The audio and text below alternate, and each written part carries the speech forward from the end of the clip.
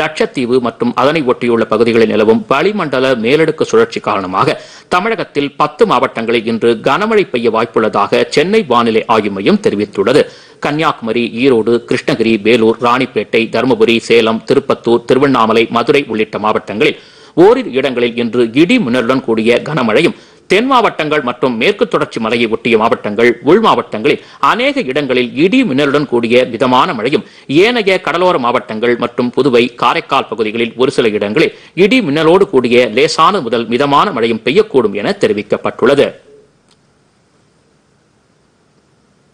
சென்னையை பொறுத்தவரை அடுத்த நாற்பத்தி எட்டு மணி நேரத்திற்கு வானம் ஓரளவு மேகமூட்டத்துடன் காணப்படும் என்றும் நகரின் ஒரு சில பகுதிகளில் இடி மின்னலுடன் கூடிய லேசானது முதல் மிதமான மழை பெய்யக்கூடும் என்றும் சென்னை வானிலை ஆய்வு மையம் தெரிவித்துள்ளது.